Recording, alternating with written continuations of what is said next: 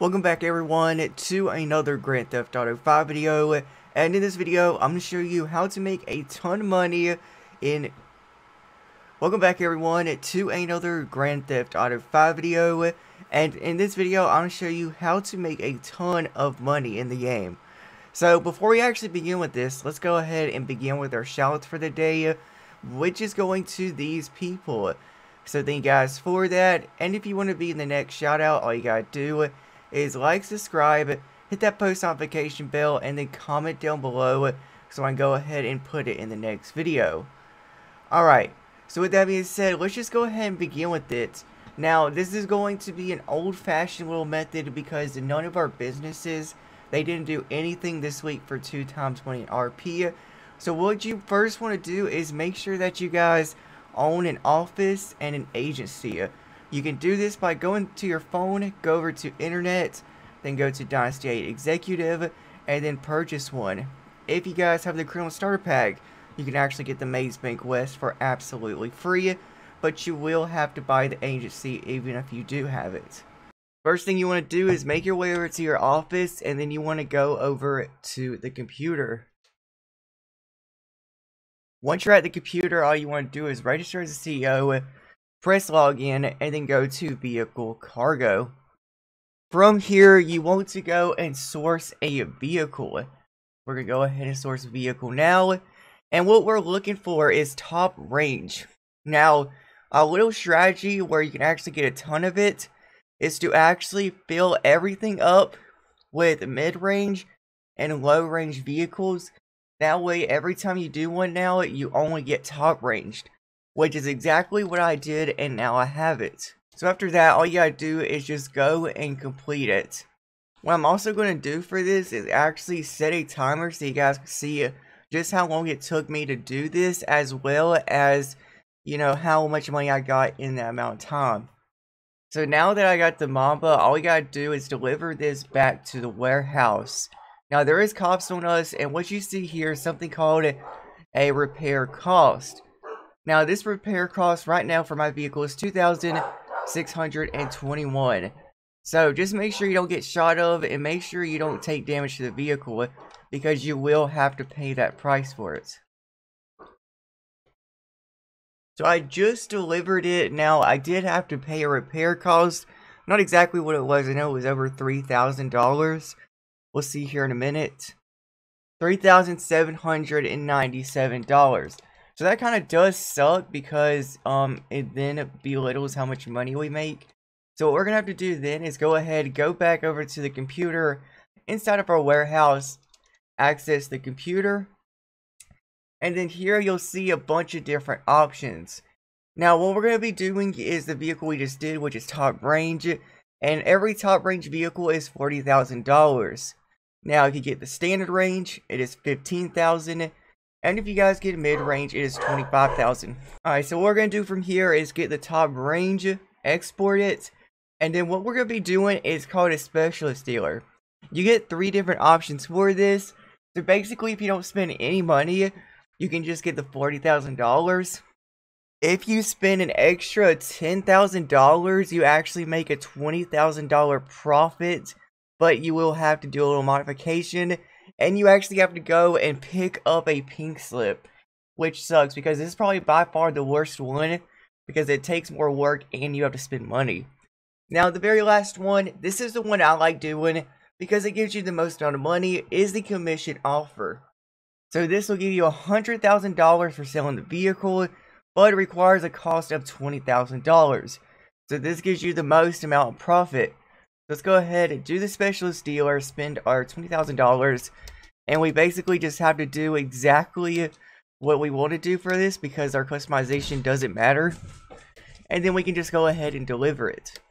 Are you tired of being broke in GTA Online and just wish you had more money? Then OP Modz is the website for you with its boosted accounts, modded services, and with its high star reviews on Trustpilot, this is going to be the website for you. And one thing that they provide is proof of work, so you guys don't ever have to worry about getting scammed. And they do everything from PlayStation to Xbox to even PC. And that'll be linked down in the description. And don't forget to use discount Ligiit for a 5% discount on all your purchases. Thank you, and back to the video. And there we go. So we just delivered it. Now we did lose a 6,000 profit, but we still made $93,800. Still, even with that value loss, we still made more money doing the higher range than if we did any of the other ones. So now that we're done, what we want to do from here is actually go ahead and you want to go over call Franklin and then start up a payphone hit. You can easily just skip this, uh, this little cinematic here quickly. Oh, maybe not like that, but just spamming the attack button. And we got payphone hit the tech entrepreneur. So what makes this payphone hit actually really good money method is doing the assassination bonus. So for here, we do have to assassinate a target, which would be over here. I think that's at the golf course is where that's at. Let's just go ahead and get us a quick vehicle here. And we also have a time limit of 14 minutes and 45 seconds.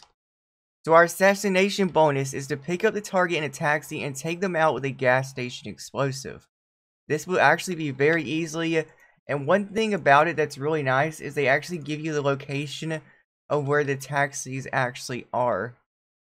Now that we had a taxi, all we have to do is go and pick them up and then drive into a gas station, um, like fuel pump or whatever. There we go. And now we've got the hit complete. So we made 85,000 in total for something that only took us 3 minutes and 35 seconds to do. You need to make sure to do that assassination bonus because if not, this thing will not be worth it at all. So now what we're going to do, because we finally got that done, uh, what we're basically doing is killing time on the cooldown for the export vehicles. We're now going to go ahead, hit Franklin up again, but this time we're going to request a security contract. There we go. And now for this one, we have vehicle recovery. Alright, so this one might not be too bad. So we got to go to LSIA, which is the airport. Alright, one of these are the motorcycle. Alright, so this, okay, this wasn't it. Wait, is it inside the Cargobob? Oh, it, oh wow, that's a pretty nice bike. That's actually a really nice one. That kind of makes me a little jealous there. Makes me want to get a bike now. Okay, and then once we're here, I think we have to go and open the hangar, which is going to be from a panel.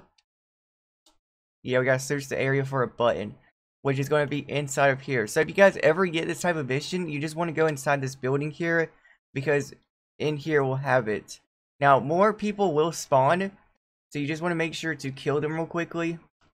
Now, tells you don't like the hangar doors, now this is actually really confusing if you guys do this for your first time. But it's basically just going to be this little uh, green button here. And it's going to be like next to the hangar doors. So just make sure to do that. They're not in any of these, so don't be looking in here at all. And there we go. Now from here, we just got to go back, steal the bike, and then I'm guessing just deliver it to the agency. And we should be done from there. And there we go. So we just delivered this back to the agency. And now what we're going to be doing is, now that we've done a payphone hit and a security contract, in that amount of time, we should be able to actually go and do another vehicle export. Or if you guys don't have another vehicle to sell, it, you can actually just go and um steal one. So let's go ahead and start heading our way there now. Okay, so we basically got all of the payphone hit and that one security contract done. Now we made our way back to the warehouse. We're going to sit down and the cooldown it should be over with. Hmm.